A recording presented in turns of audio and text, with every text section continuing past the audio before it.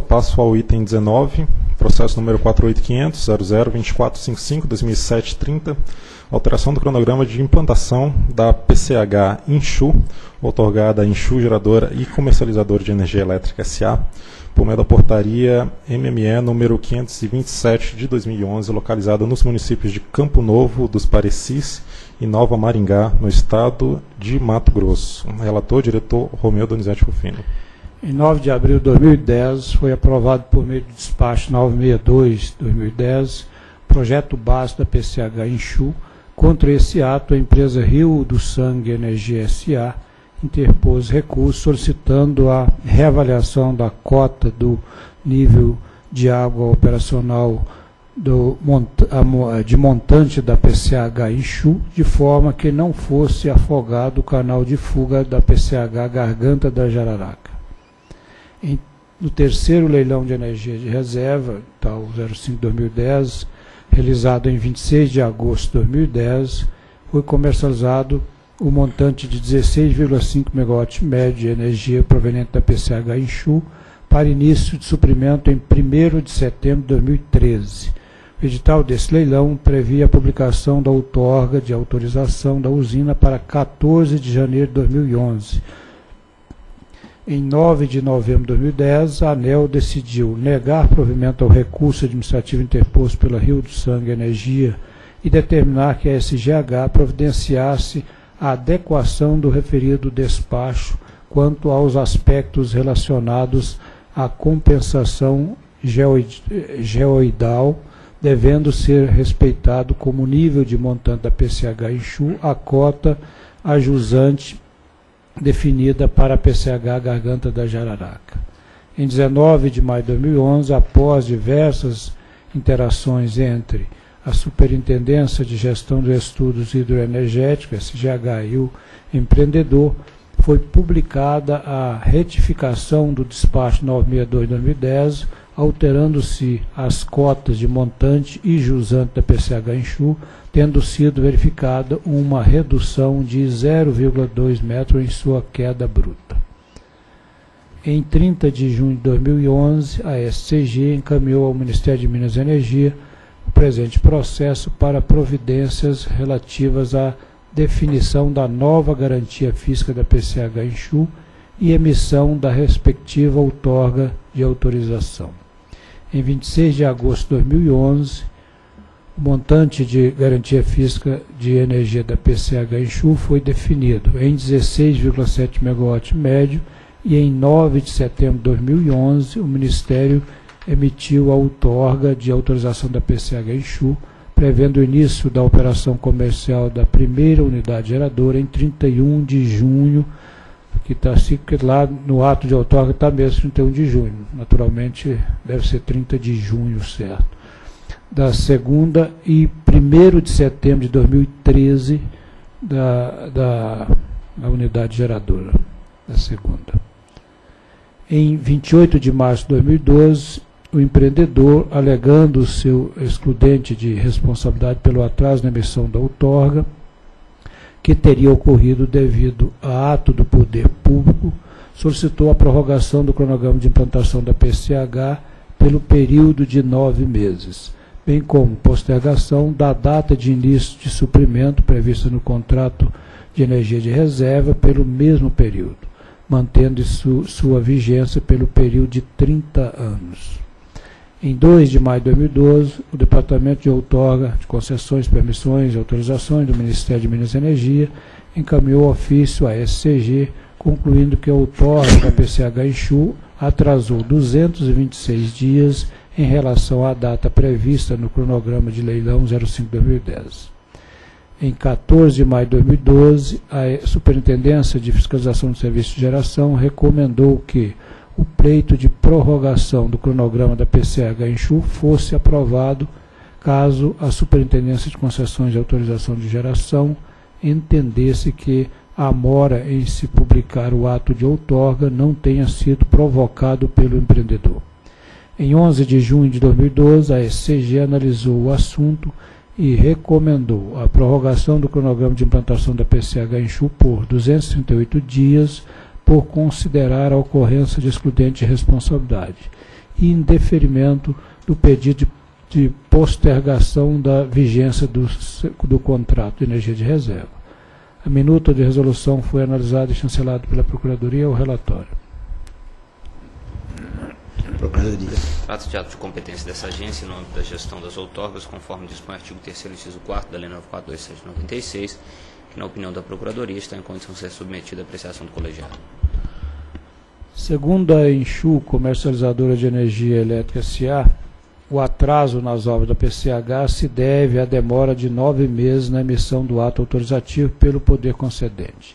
Dessa forma, solicitou a alteração do cronograma de implantação da usina, propondo o início da operação comercial da primeira unidade geradora em 31 de março e da segunda, 1 de junho de 2014 representando uma postergação, respectivamente, de 274 dias para a primeira unidade e 273 dias para a segunda. Nesse sentido, verifica-se que, no âmbito do leilão 05-2010, houve a publicação de três cronogramas, os dois primeiros publicados antes da realização do leilão.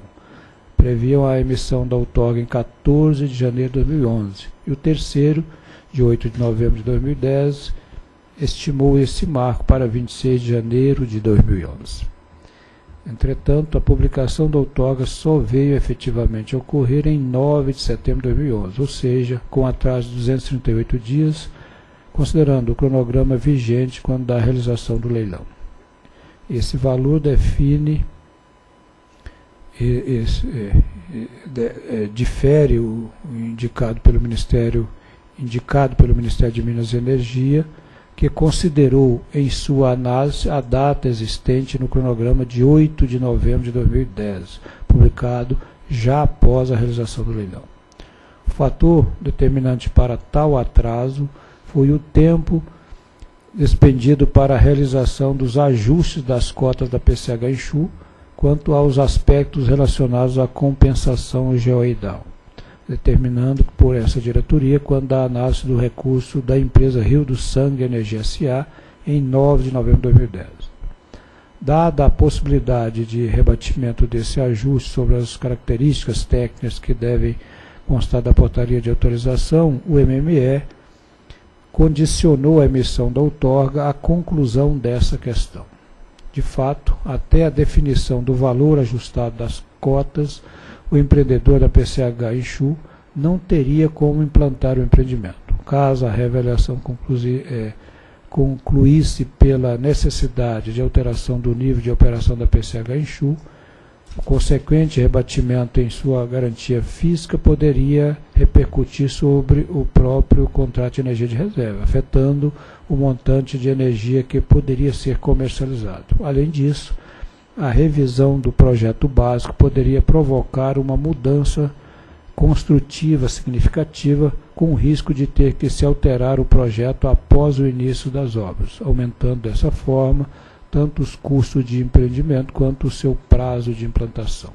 Tal ajuste demandou análise detalhada pela SGH, tendo a Enxu prestado as informações solicitadas e se mostrado diligente durante esse processo ao atender às solicitações da superintendência, o que resultou na retificação da Resolução 962-2010 em 19 de maio de 2011, com posterior revisão da garantia física da usina em 26 de agosto de 2011 e publicação da outorga em 9 de setembro de 2011. Assim, entende-se que tal atraso não pode ser imputado ao agente. Existem diversas decisões anteriores dessa diretoria, no sentido de que o atraso na publicação da outorga configura-se um excludente de responsabilidade do agente e conduz tanto à adequação do seu cronograma como na postergação da data de início do suprimento, com a isenção da obrigação da recomposição de lastro no âmbito da CCE ao longo desse período. Encaminhamento esse que acompanho nesse voto. Assim, deve ser acatada parcialmente a solicitação do empreendedor, limitando-se à postergação do início do suprimento do seu contrato ao intervalo de 238 dias e não de 274, conforme solicitado. Considerando a posição da SFG de que o cronograma apresentado pelo empreendedor para implantação da usina é tecnicamente factível, deve-se promover a alteração nos termos pleiteados, sem prejuízo da eventual aplicação de penalidade associada ao descumprimento dos cronogramas originais pelo prazo superior ao período de 238 dias de excludente responsabilidade reconhecido.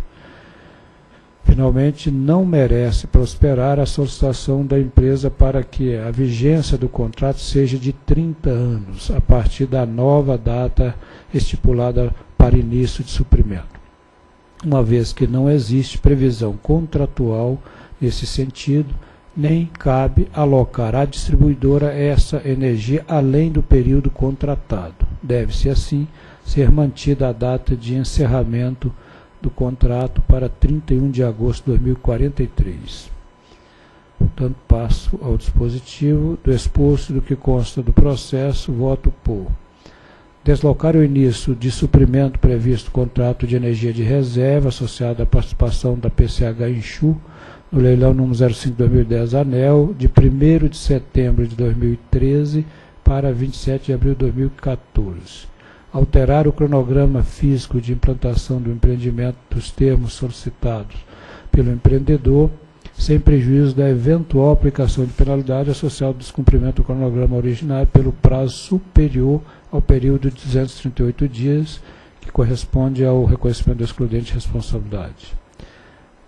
Determinar que o agente, em no máximo 30 dias antes do seu vencimento, renove as garantias de fiel cumprimento referente aos empreendimentos em questão, ao empreendimento em questão, para que permaneçam válidos por até três meses após o início da operação comercial da última unidade geradora da usina, conforme expressamente determinado nas cláusulas 13.4, 13.4.1 do edital do leilão número 5 de 2010 e, por último, indeferir o pedido de postergação da vigência do SER para que sua validade também fosse estendida por 30 anos a contar da nova data de início do suprimento do SER. É o voto. Ok, em discussão. Essa o meu, esse contrato é o, esse leilão é o terceiro LED 2, é o, é o terceiro LE realizado, né, que foi o leilão número 5 2010. E nesse leilão teve contratação de biomassa, hidráulica, eólica, né? Isso eu lembro que a contratação de eólica era por 20 anos, biomassa 15 anos, e no caso aqui da hidráulica era 30 anos com início de suprimento a partir de 1 de setembro, né, isso de 2013. Então o que a gente está tá permitindo aqui é um excludente de responsabilidade para que ela não entregue energia a partir de 1 de setembro de 2013 e sim a data, a data proposta aí que alcança 2014. Abril. 27 de abril de 2014, mas que o marco final é respeitado. Ou seja, não vai ter extensão do contrato. E como é, não é LFA, né, é LER, é um leilão de reserva, isso não afeta laço de empresa de distribuição. Ou seja, não tem risco entre o 1 de setembro de 2013 até a data de abril de 2014. Feito. E, esse, te, esse termo do contrato, né, na verdade, não, não é novidade. Né? Todos os demais processos nós já decidimos por excluir a responsabilidade de deslocar o compromisso comercial, o término do contrato foi, foi mantido. Né? Eu não me lembro de nenhum que outro que a gente tenha a, a, admitido a, escorregar o contrato na mesma proporção lá no final. Né? Mas é isso mesmo. Ok. Em votação? Voto com o relator. Também voto com o relator. Também voto com o relator. A editoria decidiu deslocar o início suprimento previsto no contrato de energia de reserva associada à participação da PCH em Chu, leilão 05-2010 ANEL, de 1 de setembro de 2013 para 27 de abril de 2014, com demais detalhes colocados no voto do relator e que acabou de ser lido pelo mesmo.